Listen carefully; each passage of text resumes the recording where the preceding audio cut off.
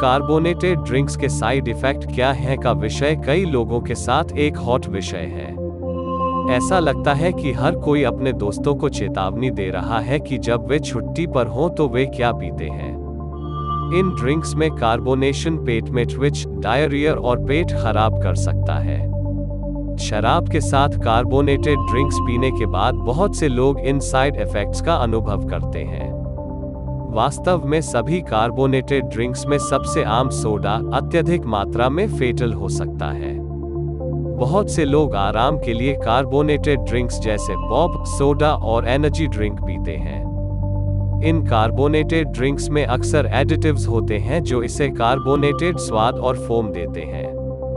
Carbonated drinks हमारे पाचन पर प्रभाव डालते हैं और हमारे पेट में गैस के प्रोडक्शन का कारण बनते हैं। हालाँकि कुछ अन्य प्रभाव भी हैं। कार्बोनेटेड ड्रिंक्स के दुष्प्रभाव क्या हैं? कार्बोनेटेड ड्रिंक्स का सेवन करने के बाद कई लोगों को सिरदर्द चक्कर आना और नौसियर की समस्या हुई है। वास्तव में, ये सबसे आम कार्बोनेटेड ड्रिंक्स साइड इफ़ेक्ट हैं।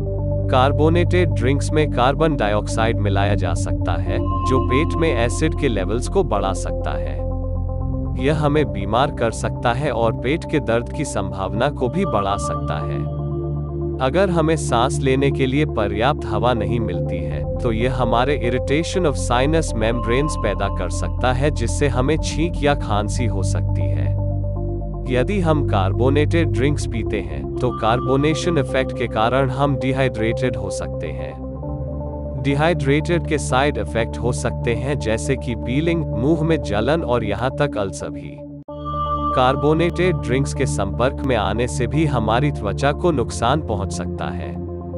प्यास लगने पर बहुत अधिक कार्बोनेटेड ड्रिंक्स का सेवन न करने से आमतौर पर इन प्रभावों से बचा जा सकता है। कार्बोनेटेड ड्रिंक्स के बारे में कुछ अफर्मेटिव बातें हो सकती हैं। कार्बोनेशन एक डायोरेटिक के रूप में कार्य कर सकता है, जो पेशाब और अन्य यूरिन संबंधी समस्याओं के लक्षणों को कम करने में मदद कर सकता है। कार्बोनेटेड ड्रिंक्स भी एक नेचुरल लैक्सेटिव हो सकता है। हालाँकि, यदि आप केवल कार्बोनेटेड ड्रिंक्स का सेवन करने का ध्यान रखते हैं और कार्बोनेटेड ड्रिंक्स के दुष्प्रभावों से बचने की कोशिश करते हैं तो आप पाएँगे कि आप उनसे बहुत से स्वास्थ्य लाभ प्राप्त कर सकते हैं। जैसा कि आप देख सकते हैं कार्बोनेटेड ड्रिंक्स क्या है? यह सीखना फ़ायदेमंद हो सकता है। कार्बोनेटेड ड्रिंक सब्सटेंसेस से परहेज करके इन साइड इफ़ेक्ट से आसानी से बचा जा सकता है। यदि हम उन कार्बोनेटेड ड्रिंक्स को पानी से बदल दें तो हम स्वस्थ रहने में भी अपनी मदद कर सकते हैं। कार्बोनेटेड ड्रिंक सब्सटेंसेस की तुलना में पानी हमारे लिए काफ़ी बेहतर है। यह विशेष रूप से सच है जब हम सादा पानी पी रहे हैं। मैं उम्मीद करता हूँ कि ये वीडियो आपके लिए हेल्पफुल रहा होगा, जो हमारे चैनल के साथ अभी जुड़े हैं। मैं उनसे रिक्वेस्ट करता हूँ कि प्लीज़ मेरे चैनल को लाइक, शेयर और सब्सक्राइब ज़रूर कीजिएगा। धन्यवाद।